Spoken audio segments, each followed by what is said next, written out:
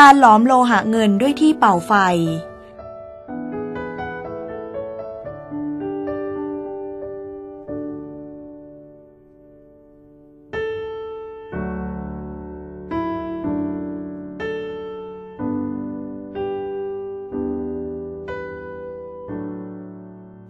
นำเงินที่หลอมแล้ว เทใส่รางโลหะ ตามขนาดของเงินที่ต้องการนำมาทำเครื่องประดับ เช่น หากนำมาตีเป็นแผ่นใหญ่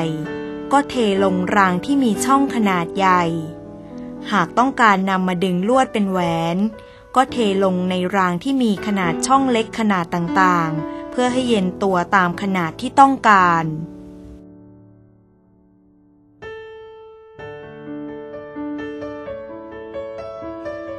นำเงินที่เย็นตัวแข็งเป็นแท่ง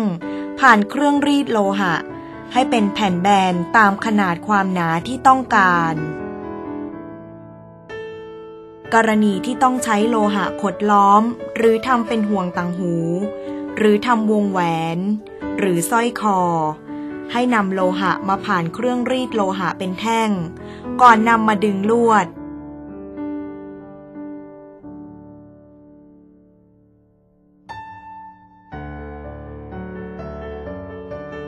ช้แท่งโลหะเงินกลมที่ผ่านเครื่องรีดและดึงลวด มาใช้โฟดอมหัวเม็ดมะยมเซาะเป็นร่อง เพื่อทำเป็นก้านสร้อยคอ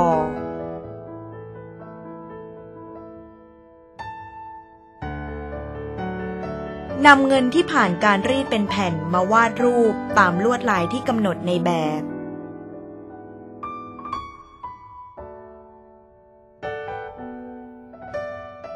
เลื่อยตามแนวที่วาดไว้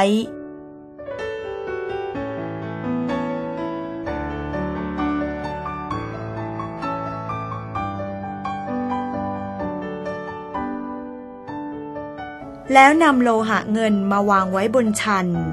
แล้วใช้สิวตอกสลักลายให้นูนสูงและต่ำตามแบบที่กำหนด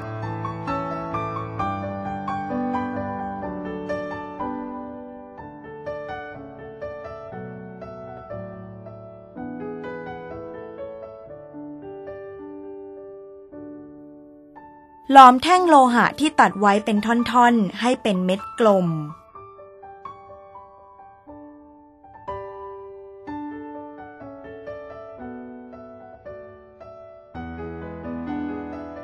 นำเม็ดเงินที่หลอมไว้มาติดบนร่องกำไล ที่ได้แกะลวดลายสลักดุลและเจาะเป็นรูไว้ โดยใช้น้ำประสาน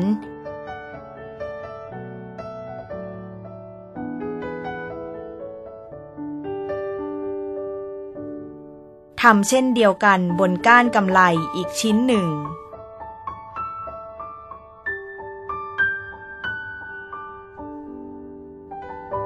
หลังจากนั้นนำไปล้างน้ำ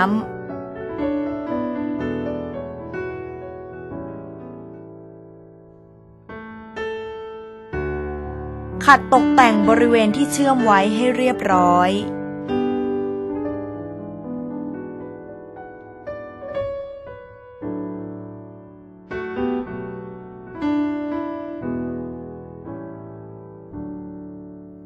ต่อกำไลทั้งชิ้นด้วยลวดและเชื่อมลวดติดบนกำไล การทำสร้อยคอให้ใช้วิธีการตอกสลักดุลเช่นเดียวกัน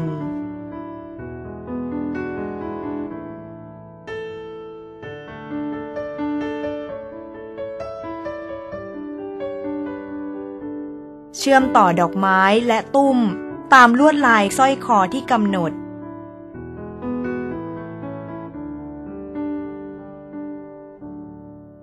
ช้โฟดอมขัดตกแต่งสร้อยคอด้านหน้าและหลังให้เรียบร้อย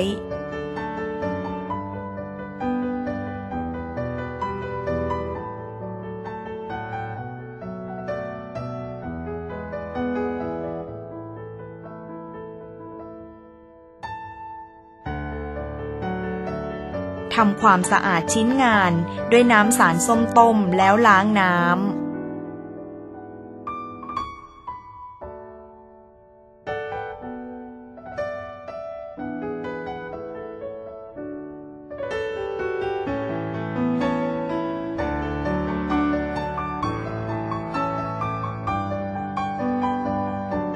ชื่อมต่อก้านสร้อยคอทั้งสองชิ้นด้วยลวด